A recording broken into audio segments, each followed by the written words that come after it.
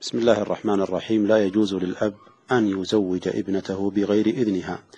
لعموم قول النبي صلى الله عليه وسلم وأما البكر فتستأذن وإذنها صماتها. والمعنى أنها تستأذن وعلامة الموافقة والقبول أن تصمت أو تبكي أو تبتسم.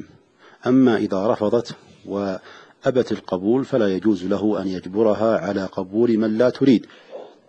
ومن شروط الأنكحة الرضا بين الزوجين فلا بد أن تكون راضية والشرط إذا انتفى انتفى المشروط فلا يصح عنده النكاح.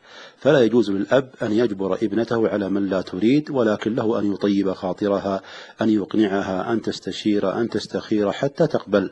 وفي الوقت نفسه ينبغي للبنت أن تستأمن أو الأخت أن تستأمن رأي الأخ أو الأب لأن الرجال أعرف بالرجال فإذا عرض عليها الزواج لا تتأخر في القبول وقد جاء عن النبي صلى الله عليه وسلم أنه قال إذا جاءكم من ترضون دينه وخلقه فزوجوه فينبغي لها أن تستأمن رأي الأب أو رأي الأخ لأن الرجال إن كانوا من الثقات العدول لأن الرجال أعرف أعرف بالرجال. هذا والله أعلم وصلى الله وسلم على نبينا محمد.